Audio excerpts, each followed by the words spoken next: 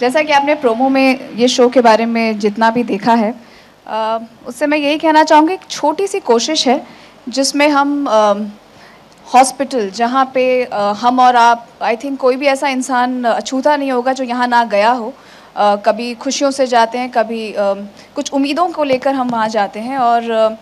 हर तरह के एक्सपीरियंस हम सब फेस कर चुके हैं, चाहे वो कुछ अच्छे होते हैं कुछ काफ़ी बुरे भी होते हैं और हम ये सारे एक्सपीरियंस को अपनी लाइफ में आ, आ, जिस तरह से लेते हुए आए हैं कुछ वही कोशिश की है कि हम सोसाइटी को वो चेहरा दिखाएँ जहाँ पे हर तरह की इमोशंस हैं जज्बात हैं। और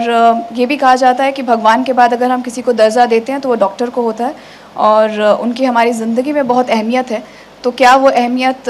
सही तरीके से निभा रहे हैं या नहीं? और इस शो से कई ऐसे किरदार जुड़े हैं जिनकी अपनी कहानी है उस जगह से